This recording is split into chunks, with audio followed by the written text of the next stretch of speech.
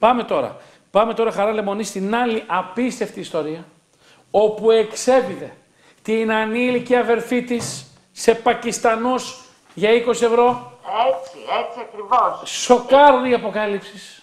Έτσι ακριβώς. Πρόκειται για μία 19χρονη και έναν 28χρονο στα φιλιατρά, ο φίλος της ο 28χρονος, αφού της έδιναν χασίς της 14χρονης αδελφής, 14 την ετών, εξέδιδαν σε Πακιστανούς εργάτες γης για το ποσό των 20 ευρώ. Ε, να πούμε ότι τη σοκαριστική υπόθεση αποκάλυψε ο πατέρας των κοριτσιών, ο οποίος κατήγγειλε το ζευγάρι στην αστυνομία. Η 14χρονη έχει ήδη εξεταστεί από παιδοψυχολόγο, όπου και επιβεβαιώθηκαν τα καταγγελόμενα, ενώ αναμένεται και το ιατρικό πόρισμα. Θεωρείται βέβαιο ότι για πρώτη φορά το κοριτσάκι υποχρεώθηκε σε σεξουαλική πράξη στις 6 Φεβρουαρίου.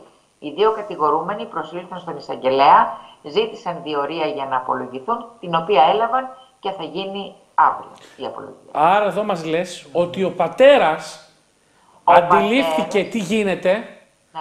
ήταν κάτι το οποίο ξεκίνησε στις 6 Φεβρουαρίου, ε, αντιλήφθηκε ο πατέρας τι έγινε και πήγε ο ίδιος ο πατέρας και κατήγγειλε Και την κόρη κατήγγειλε του. Την κόρη και το φίλο της. Μάλιστα. Ασύλληπτα πράγματα. Και Κα- μπράβο, και μπράβο στον πατέρα που το αντιλήφθηκε. Γιατί σε άλλες περιπτώσεις ακούγαμε να είναι μήνες, να είναι χρόνια. Ναι, ναι. Ε, ακα- όταν το αντιλήφθηκε και βρεθήκαν στην αστυνομία, είπε ότι ξεκίνησε στις 6 του μήνα.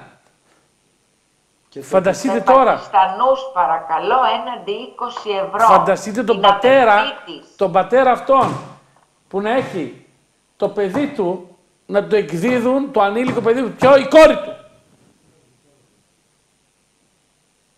Αδιανόητα πράγματα.